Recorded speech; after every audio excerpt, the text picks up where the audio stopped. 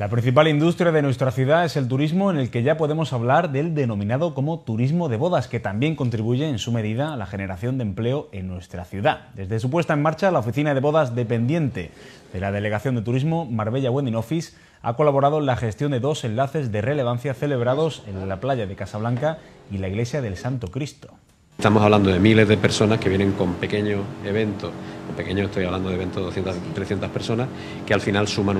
miles de visitantes en la ciudad y que dejan dinero aquí, que tiene un efecto económico importante.